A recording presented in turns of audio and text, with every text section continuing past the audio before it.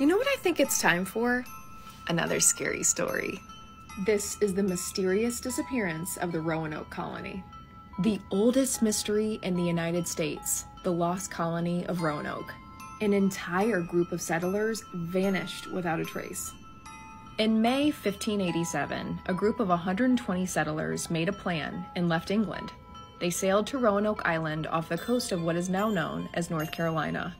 They arrived two months later in July 1587. We complain about TSA and airport lines, but travel back then took a long time.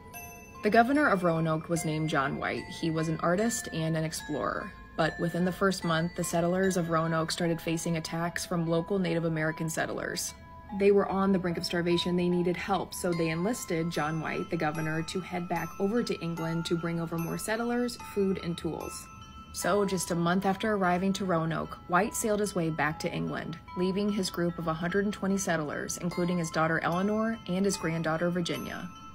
The timing was horrible though. When he arrived back in England, they were on the brink of war with Spain, so he was unable to get back to Roanoke for three years. Finally, in August 1590, White arrived back to Roanoke. When he arrived, he was shocked to find the entire colony had vanished.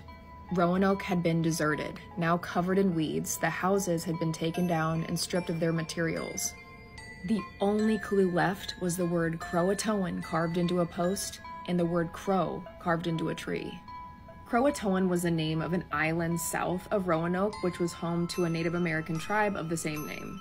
Desperate to find his family and colony, White traveled down south to the nearby Croatoan island, now known as Hatteras Island, to search for his settlers. He sailed down twice, hitting horrible storms both times, and had to turn back. He was unable to get a boat to look for a third time. He was devastated and confused. What happened to his colony? He went back to England and passed in 1593. He never knew what happened to his daughter or his granddaughter. Some thought they might have been attacked, but no remains were ever found, and this was a big group of people. The mystery of this is that there is no solid evidence that the Roanoke colony ever made it to Croatoan. Excavations of the area haven't led to any findings that can be linked directly to the lost colony. They just vanished. Many believe something supernatural happened, and for my American Horror Story fans, this is referred to a lot in the series. What do you think happened?